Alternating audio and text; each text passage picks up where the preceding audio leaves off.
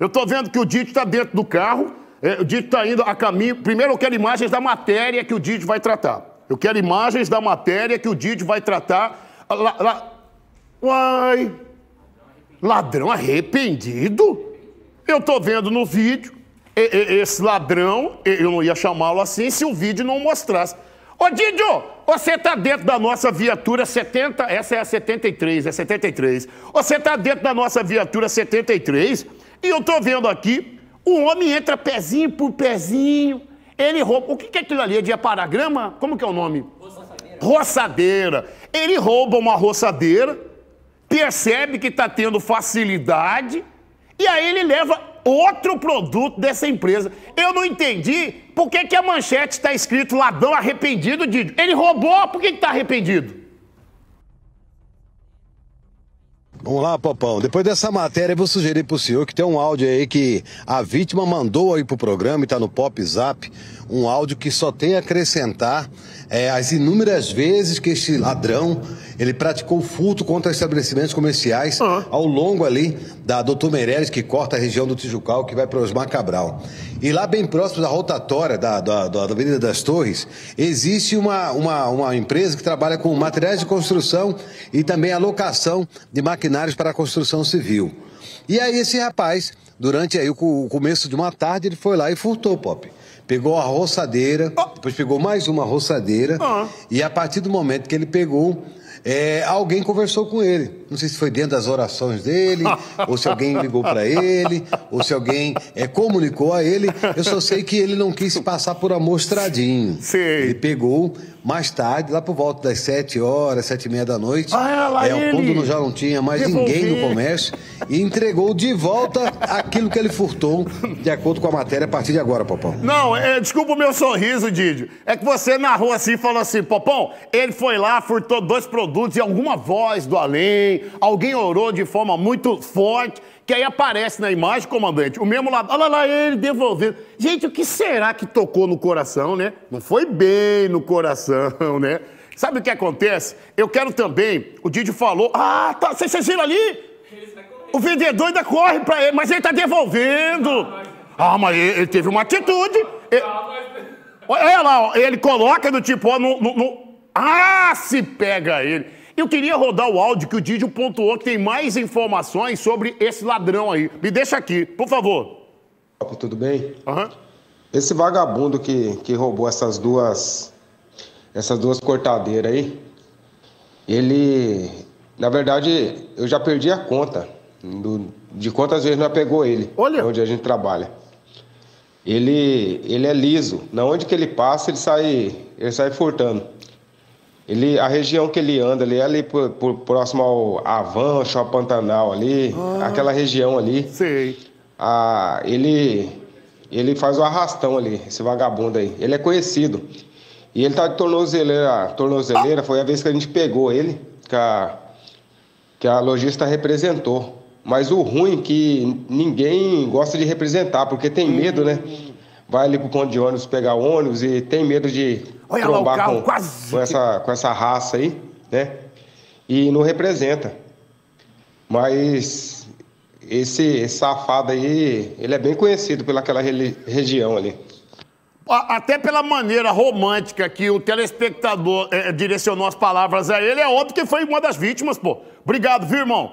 Se você reconhece esse ladrão, ajude a eliminar aí os comerciantes a tomarem prejuízo porque estão tomando. Agora, aquele vídeo, já vou liberar a matéria. O vídeo que aparece ele ali, ó, ele devolvendo os produtos que ele furtou, porque alguma coisa tocou nele, né? Ele vai atravessar a rua e quase, ó, Denis, olha lá, olha lá.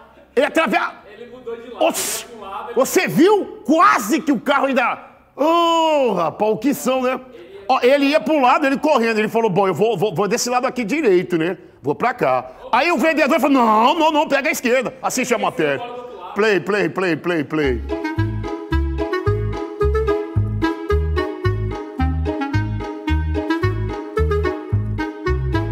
A nossa equipe de reportagem está na Avenida Doutor Meireles, no bairro Tijucal, no sentido Osmar Cabral, bem próximo aqui do, também da Avenida das Torres, aonde vídeos de segurança acabaram registrando o furto de duas roçadeiras. Um rapaz que passa aqui por esta calçada, ele vai até a lateral de um comércio que trabalha com materiais para construção e locação de também ferramentas pesadas para a construção civil e ele entra tranquilamente nos fundos desse estabelecimento comercial, até que ele pega uma roçadeira não satisfeito, ao sair, você percebe que se trata de um tornozelado.